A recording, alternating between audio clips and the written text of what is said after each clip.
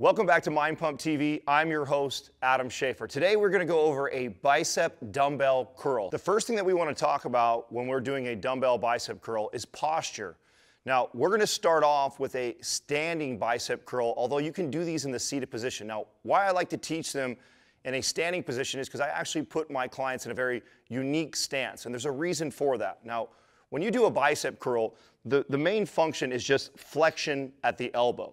So any other movement in the rest of the body is really unnecessary, and that's going to actually take away from the work on the bicep, and other muscles will take over. So the position that we get into is very important. So what that looks like is we want to take the shoulders in a retract position. So I want to pull the shoulder blades back. Now the reason why this is so important is already most people have this issue where they have kind of a rounded shoulder. And then when they go to do bicep curls, what ends up happening is the front of their shoulder starts to kick into the movement, which is why some people actually feel this a little bit in their shoulder. So what I want to do is I want to retract the shoulders back. So peel the elbows back by my side when I do this bicep curl. And once I come to this position right here, my bicep is fully flexed. Any more movement, so look where that dumbbell would, would end up being right here. Any more movement from here to here is now shoulder flexion, which is not working any more of my bicep. So you don't need to take this all the way up to your chin or the top of your chest like some people do. All you want to do is take it all the way up into full flexion and you'll feel the bicep fully flexed, the shoulder still in that retracted position. In order to get the dumbbell up any higher, I would have to roll the shoulder forward and then the shoulder takes over. We don't want that. So I'm gonna start you guys off in a standing position and we're actually gonna get into what we call a split stance. And in the split stance, I'm gonna shift my weight onto my front foot and my back foot is on my toe. Now the purpose of this and why I love to teach this to clients is because it creates a little instability. And when it creates instability, it kind of forces you into good posture. It's just an old trainer trick that we used to do because if you have somebody who's lifting dumbbells and they're rocking and they're moving, it'll throw them off balance. This kind of forces them up into good posture. So I'll take a client, I'll put them in a split stance, weights on the front foot. I'll tell them to take their shoulders in a retracted position and then the elbows by their side. I also like them to imagine you have a pen that goes through your elbow, in through your side, and out the other, and that it has to move on that axis. You never want that elbow to move from that point of axis, so it stays pinned right by the side the entire movement. That's gonna keep everything in the bicep. All right, now let's talk about range of motion. Now, one of the most common mistakes that I see people doing is either shortening the range of motion up too much or going too far when they do a curl. Now I kind of touched on this a minute ago when I talked about the position of the elbow being pinned by your side, that this is as high as you need to go up. You don't need to go any higher than this. Common mistake I see is the rocking of the elbows and the shoulders.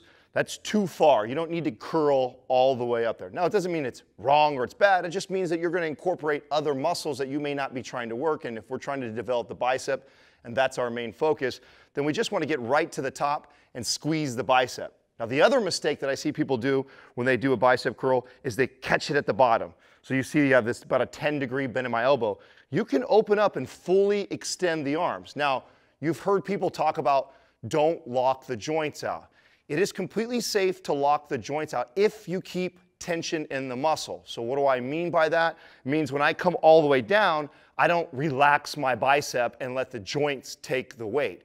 I want to keep the biceps tense. So this is probably where a lot of people get that 10 degree bend to where they're constantly keeping tension on the bicep. But you can actually open all the way up, fully extend, but also still be mentally concentrating, keeping tension in the bicep. So we want to take the arm through its fullest range of motion, open it all the way up, and then come all the way up to a squeeze without rocking the elbow or the shoulder. So full range of motion looks just like this. Shoulders are peeled back, elbows are back all the way up into that flex position, and I'm squeezing the bicep at the top. Right there, I got full flexion of the bicep. Any more of this is now shoulders getting involved to get there. So full range, all the way down by my side, curl all the way up, squeeze at the top.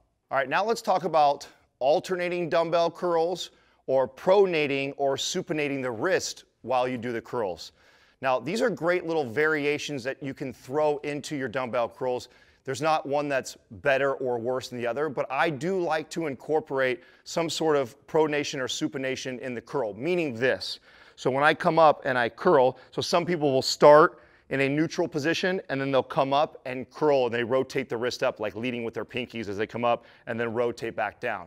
Now, you're not getting any more of just the bicep work like that. You incorporate a little bit more of the brachialis when you have a neutral grip, which is just a muscle that runs underneath the bicep. You'll hear a lot of bros talk about how that makes the bicep look bigger and meatier because it's a muscle that runs underneath and then creates kind of like this, you know, size on the outside. It pushes the bicep out. So yeah, it's a great idea to either incorporate some sort of alternating and supinating every now and then, or you can just incorporate hammer curls and you can get that same effect on your brachialis. Now, the other thing is alternating the dumbbells back and forth. There's not a real big difference between doing both dumbbells together versus alternating. The only real difference is when I alternate, I come up here, this dumbbell on the other side is at rest. So I'm gonna have a little bit more energy. So I typically can lift more weight when I alternate because then I get a little bit of rest in between set versus doing both of them together. This is gonna be a little bit more challenging. I like to incorporate both into my routine.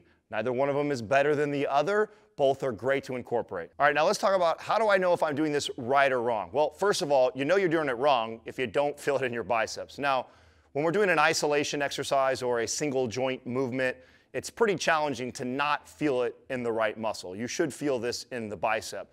If you do feel this though in other muscles, the most common ones are probably the front of your shoulders and sometimes your traps.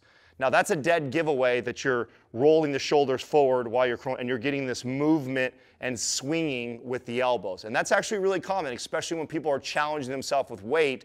They tend to use momentum, they throw it up, the elbows rock, and the shoulders get involved. Now, if you start to really notice it in the shoulders or in the traps, you know that's starting to take over the movement and you're not getting much benefit for the bicep. So when you do that, retract the shoulders, keep the elbows peeled back, and this is where I like to talk about tempo. This is where tempo becomes really important. Sure, you can do faster, slower tempos, but when I teach this movement, I like to teach a four second negative. So you resist the way down for four seconds, nice and slow and controlled till you open it all the way up, and then you come up one to two seconds.